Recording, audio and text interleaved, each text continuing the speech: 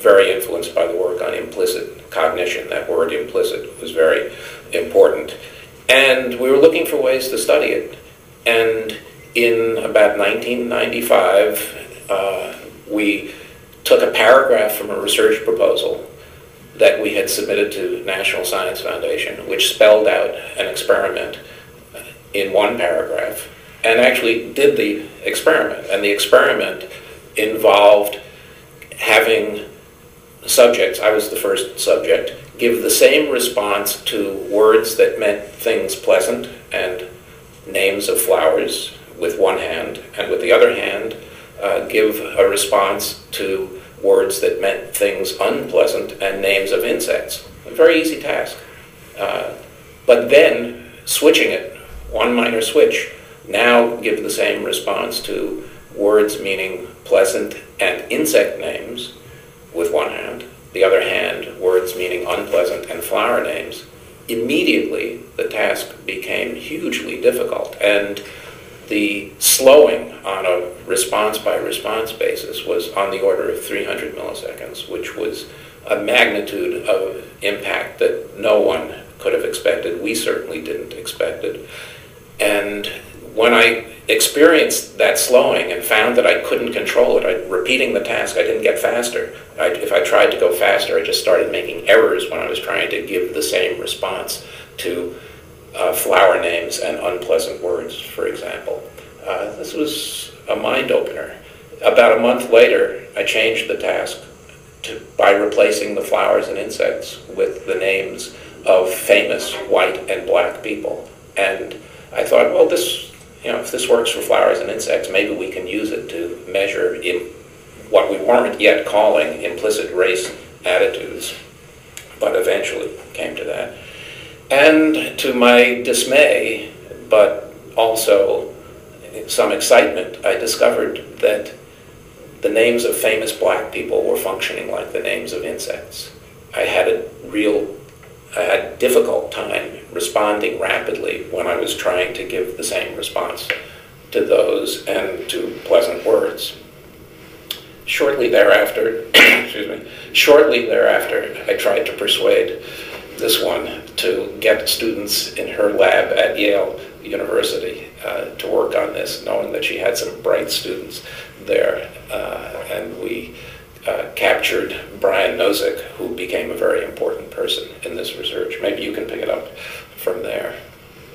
Okay, so what is remarkable about this test, which hasn't been named yet, so I will give you its name, the Implicit Association Test, or for brief, in brief, the IAT, What's remarkable about it is that it allows you to be a subject in your own experiment. Most scientists don't have this amazing experience of being able to be participants in their own research. If you're a physicist, you can't, you know, be the material object that you're studying. But if you're a psychologist, you can't because you know what the hypothesis is, so you can't actually be the subject. Here is this amazing uh, moment in which you can say, I think I'm going to show this response because that's what I am willing my hand to do, and discover that your hand, which is responding to a signal from your brain, isn't doing what you want it to do. I think that's what's fascinating about the IAT, and that's partly its, its appeal, and this is why when we decided that when we were failing at a task, and by failing I mean this, that I intended to be able to associate white with good as quickly as I associate black with good. That was my conscious goal. And being unable to do that is, is just fascinating. It's fascinating to any human being when they discover that they can't do what it is that they are trying hard to do. We decided that this was not just for the scientific journals, which of course it needed to be, and that's where the debates and the uh, peer review take care of what it is that we are doing.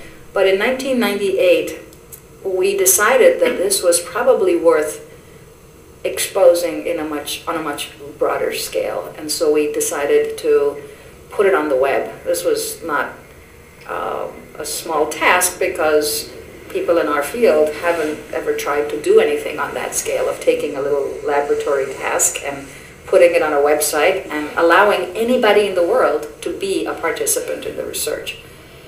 we thought, I was at Yale at the time, and one of the reasons I thought this was useful is that we don't want our results to come from only Yale undergraduates because nobody will believe that they're generalizable to real people.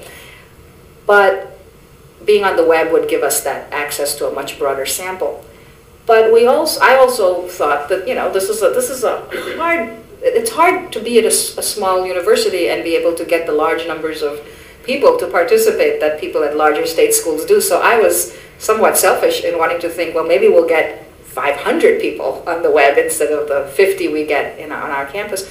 And we were just stunned that in the first month after putting this up, with no advertising on our part, just media coverage of the work, we had 40,000 completed tests at the end of the first month. So we had clearly struck some nerve, and people were just sending emails out to friends and family and saying, hey, take this test. And we were getting loads of email back, and in those early days, you know, we would have to break up the task of responding to people who were writing to us saying, this is a stupid test, I know who I am, and, and you know, I'm not a racist, and so on.